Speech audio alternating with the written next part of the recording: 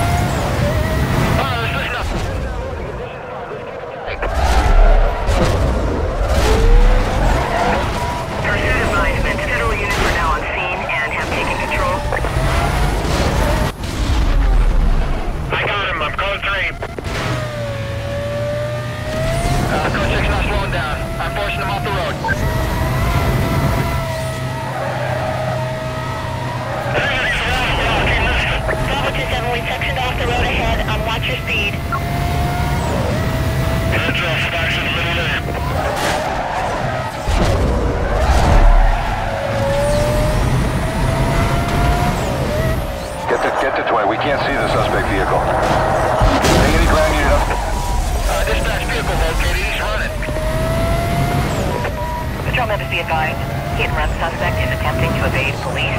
Currently uh, westbound through the Petersburg interchange. Primary unit will handle the call.